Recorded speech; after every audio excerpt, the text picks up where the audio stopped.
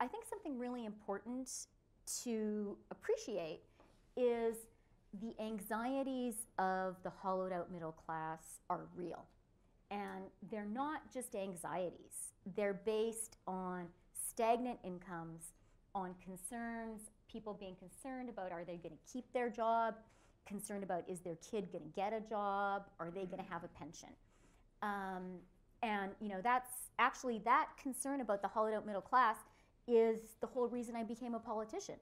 Um, because I wrote a book about it, and I met our then future, now current prime minister at the Toronto launch of my book.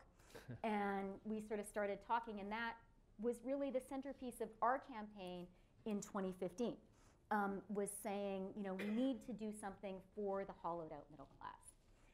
Where I think you run into problems is um, I don't believe the problems of the hollowed out middle class are caused by trade deals or by immigrants.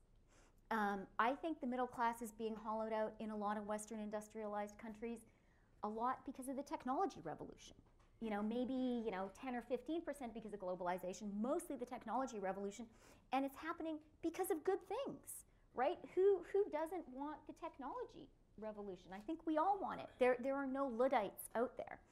Um, but I think the political reality is um, you know, maybe back in the day in the Industrial Revolution, you had people going out and breaking uh, the new looms. No one is going to the square and, you know, destroying their iPhones. We love the technology revolution too much. And so you have this real anxiety of people.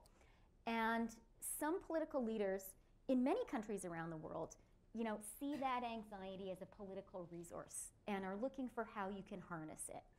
And the easy way to harness it is to point the finger at outsiders. Right. To say it's the fault of that immigrant who speaks a different language and looks different from you. Or it's the fault of that bad trade deal and that bad country that's taking advantage of us. Now, I can see how that's politically easy, but if you have the wrong diagnosis, you're going to have the wrong solution.